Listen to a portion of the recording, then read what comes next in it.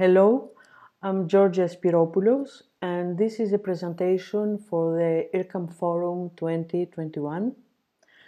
In this lecture, composing for the harp Concepts, Materials, Transformations, I will discuss my work Roll and Roll and Roll for solo harp and live electronics.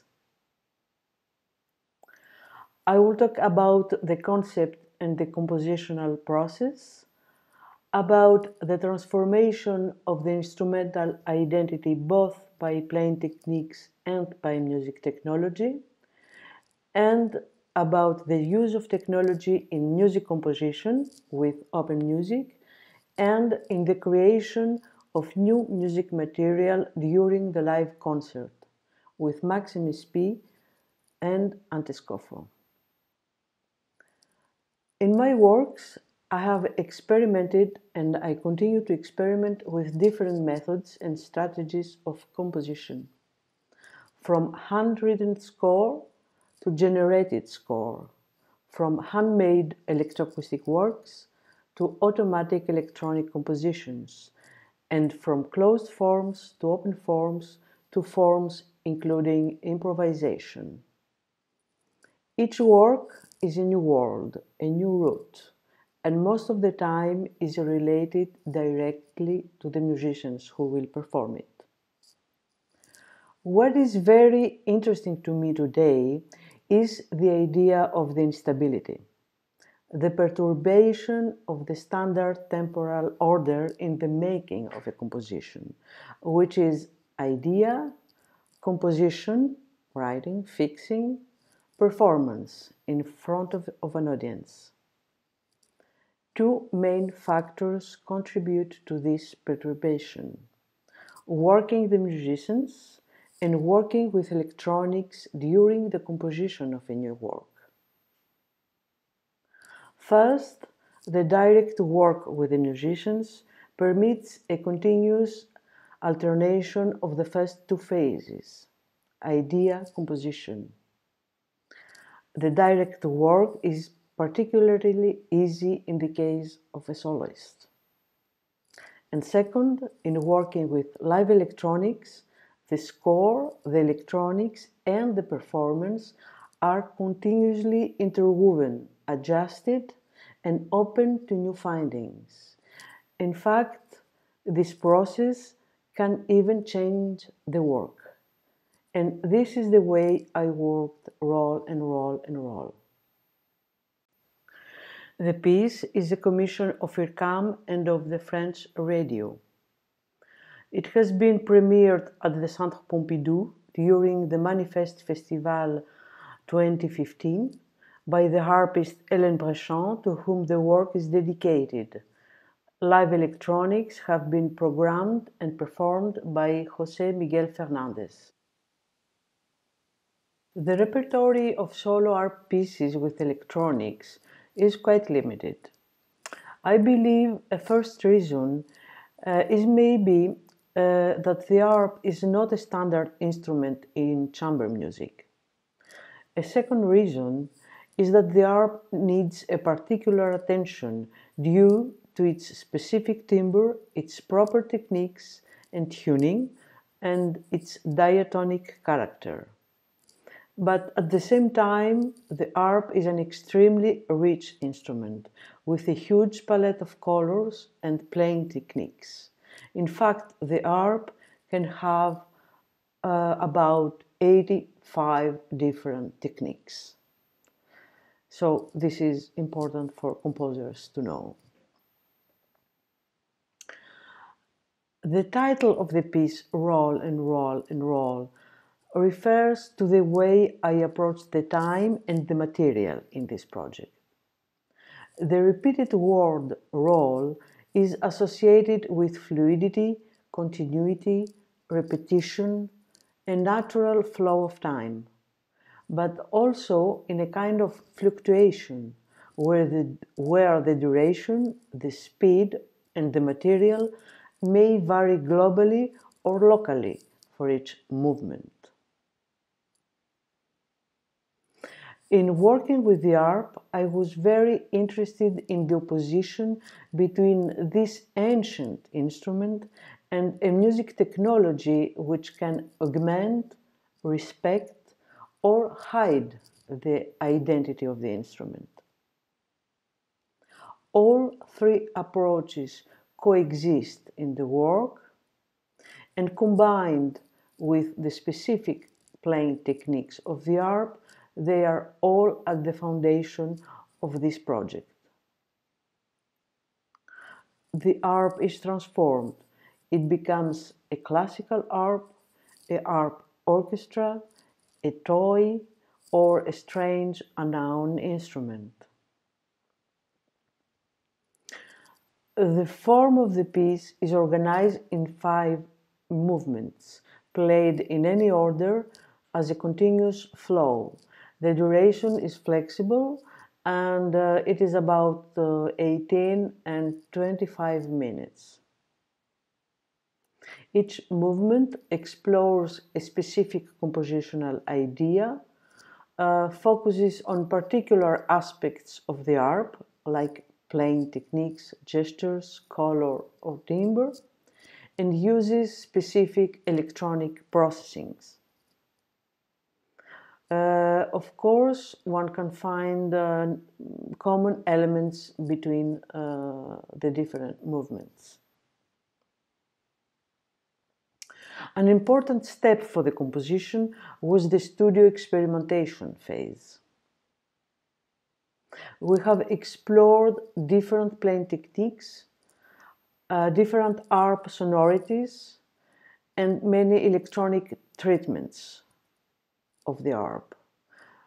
Uh, and all this on written passages and on free material. The electronics and the composition were worked on simultaneously from the beginning. The studio experimentation phase allows the composer not only to test the feasibility of what she has imagined as ele electronic processing, but can drive the piece, as I said previously, in new directions. Um, some important characteristics to know when composing for the harp are the following. Uh, its diatonic character. The harp has seven strings per octave, uh, so a maximum of five, of seven uh, different notes per octave, and a minimum of four different notes per octave due to a particular tuning, of course. The tuning is done by the action of seven pedals, three on the left and four on the right foot. And its range uh, extends to six and a half octaves. The duration of the decay of the strings depends on the length of the strings. In the harp, the decay varies from 1 second to 25 seconds approximately, from the highest to the lowest string in a fortissimo dynamic. Uh, the harp is a very resonant instrument. The vibration of a string causes the sympathetic vibration of the other strings and, of course, of the whole instrument. The resonance is controlled only by the performer, and muting the strings is a regular harp technique. Muting all strings needs time. The resonance is captured by microphones, so one needs specific microphones to eliminate it, in a way. During the studio sessions at IRCAM, an important element to explore was microphones. First, for the amplification of the harp and second, for the signal processing, where a precise attack and very few resonance is often crucial. The harp and the processed sounds are diffused and spatialized with the spatialisateur in a six loudspeaker system with six virtual sources offering a fine precision of the sound movement in the whole. The piece is performed entirely with live electronics. There is no fixed tape and there is no click track. During the concert, electronics are controlled by the harpist with a MIDI pedal with the help of the computer music designer who controls the balance between instrumental and electronic sound. The harpist is in a continuous and fluid dialogue with electronics and she has a big autonomy on stage as she controls the exact moment where an electronic processing starts. For roll and roll and roll, music technology has been used in two main domains. First, to compose a part of the piece, to generate large sections of the music score with open music. And second, for the live electronics, to generate new music material from the harp during the performance, to perform spectral and temporal transformations, and to create hybrid timbres. All live sound processing and spatialization are programmed in Max MSP and the Spatialisateur. Both are driven by a virtual score in Antescofo programming language. This is a very flexible way to work because once the patch Max MSP is specified, all processes, instructions, and parameters are programmed with scripts. This is a Antescofo script, a TXT file for a single movement.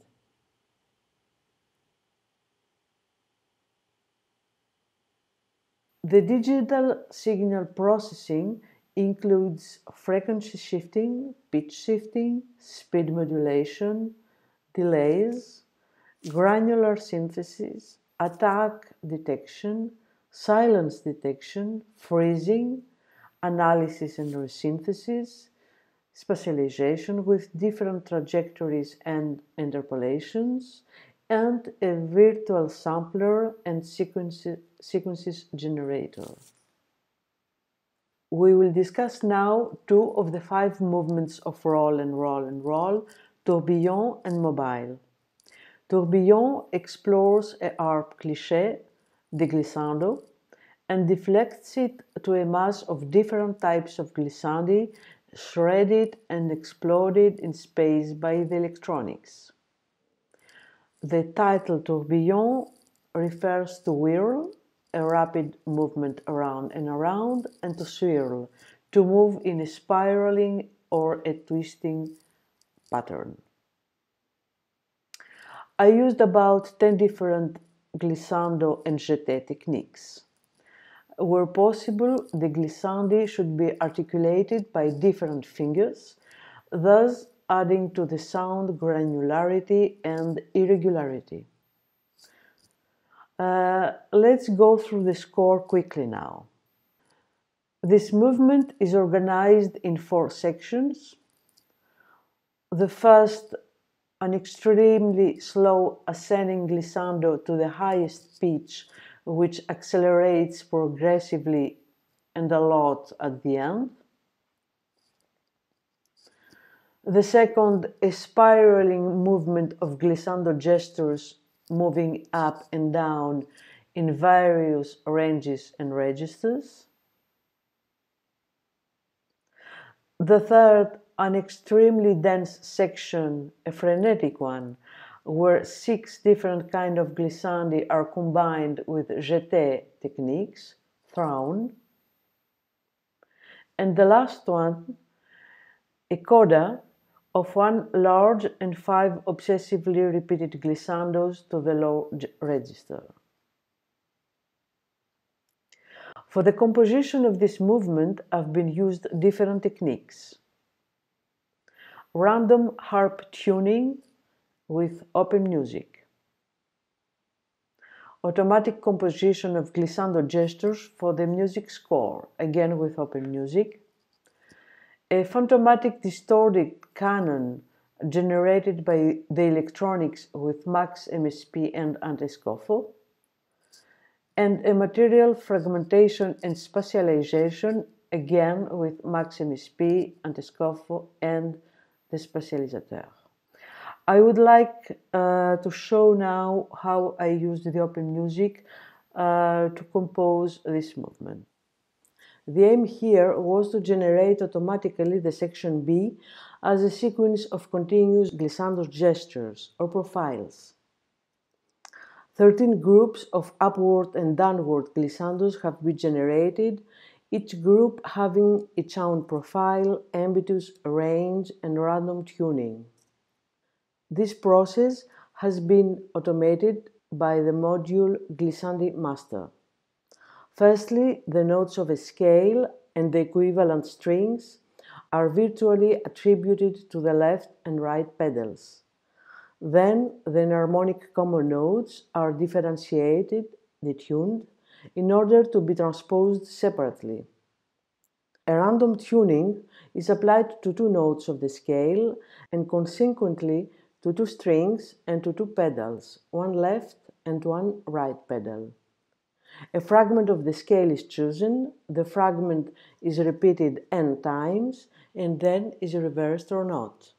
This is the basic process, and it is repeated for each group, and each group derives from the previous one. This is the profile of the B section, which is quantified and exported as an XML file in Finale. Here in the score, one can see the tuning and pedal changings in the harp generated with Open Music, and here the Max MSP processings for the same section B. Uh, this is the patch uh, Max MSP with four inputs for the four microphones of the harp and outputs for each treatment. This is a menu with all treatments. Uh, their parameters and connections are driven by Antescofo. This is the menu of the five movements whose Antescofo scripts are loaded with the patch. The script of each movement is triggered with a MIDI pedal or is loaded manually. And this is the first movement with all its events. The harpist triggers them with a pedal. In the Antescofo score, we can see the section A processings. The harp signal from the DPA microphone is processed by three frequency shiftings that are delayed at the middle of this section. In the section B, the signal from the piezo microphone is recorded into three buffers, then is transposed, delayed and spatialized, thus creating a diffracted canon in the whole. In the last section, a shuffler object generates a mass of fragments with different speeds from the harp signal and explodes them in the six loudspeakers around the hall. Let's listen to two fragments of the second and the third section of Tourbillon.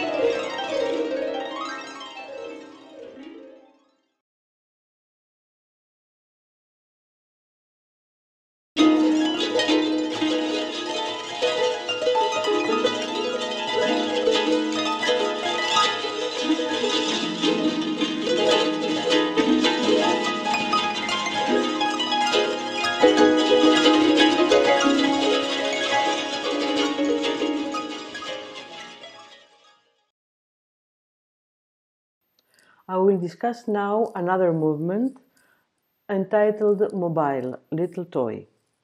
Mobile refers to free moving sculptures like uh, Calder's sculptures, whose individual elements are capable of moving independently or as a wall when prompted by air movement or direct contact.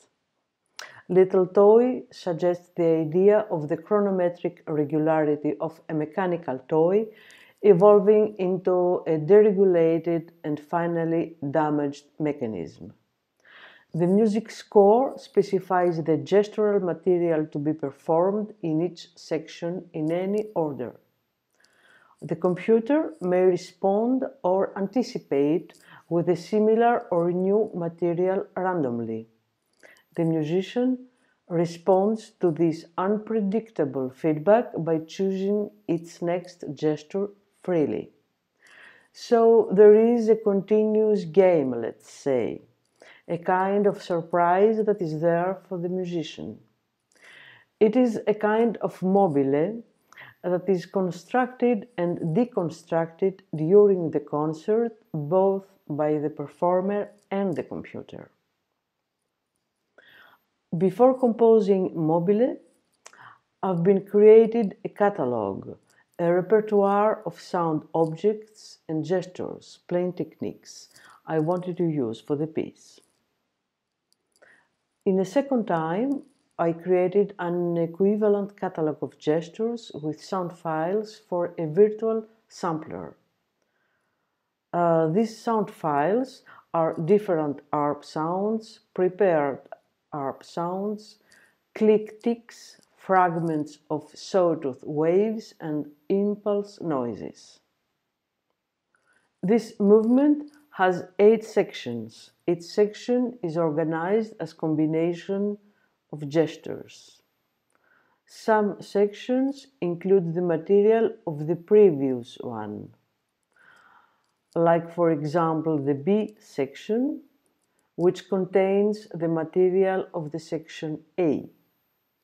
In this way, there is a progressive accumulation of material and a gradual overload both of instrumental and machine gestures.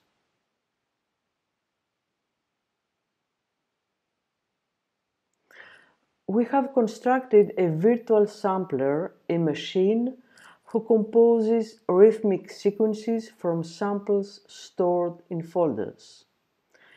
Each section of mobile has its sound sequences and sounds.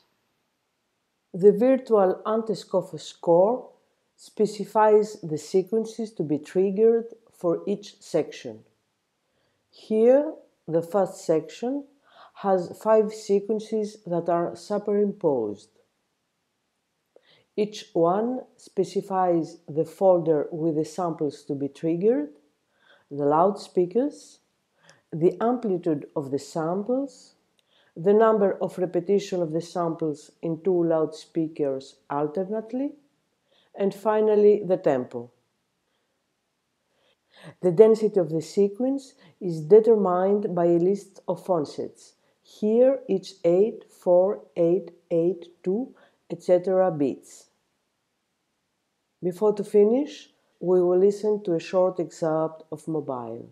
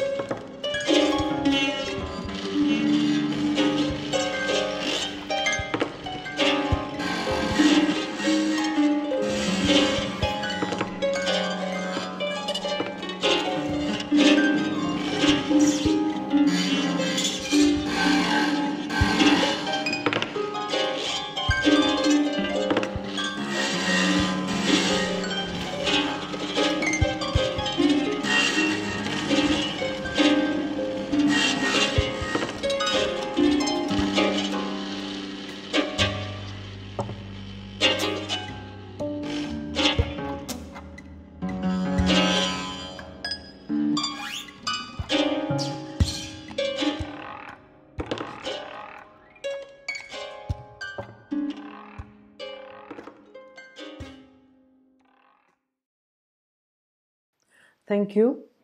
I will be happy to answer to your questions at the forum roundtable on February 12th.